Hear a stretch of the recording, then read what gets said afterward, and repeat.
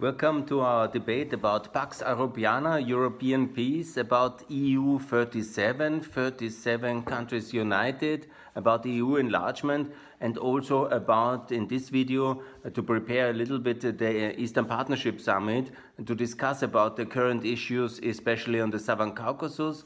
I have already made a video about uh, Georgia, Armenia, and Azerbaijan. All three videos are online at this YouTube channel and I have already talked about how we need a Balkan Benelux style, that's for the Balkans, sorry, a Benelux style uh, situation. Uh, it's actually true for the Balkans as well. I promoted very much Balkan Benelux, and now I'm logically also promoting the Southern Caucasus Benelux.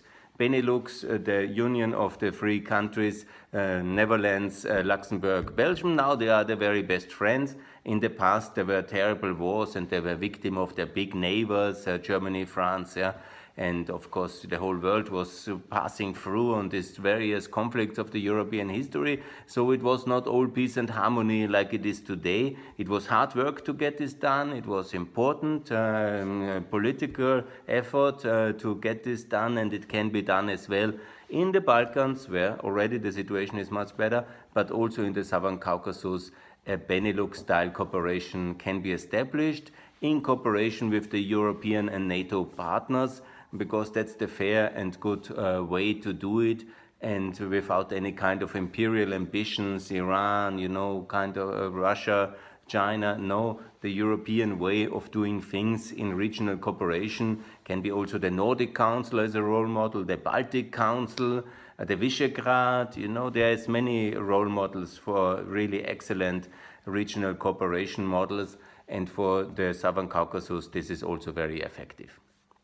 One thing which is in between and uh, makes everything complicated is uh, the uh, Nagorno-Karabakh or Artsakh uh, conflict. You know, that's basically the conflict between Azerbaijan and between Armenia in uh, the region of Azerbaijan. That's a region of Azerbaijan with an Armenian majority population which has uh, declared their own republic and now it seems since 30 years nobody really knows what to do.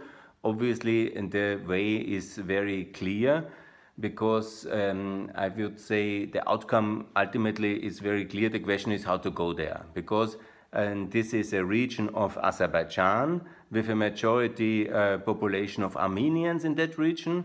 And this is, of course, a conflict because they either want to be with Armenia or be independent. But the question is, is there a justification for such an independence and should that be internationally recognized? And I say no because um, there is no immediate kind of uh, danger for the human rights of uh, the Armenians living there and it's international recognized borders and we have to keep and want to keep these principles of international law and what is happening and how this can be settled. We have many, many very positive examples in Europe. The best one is, of course,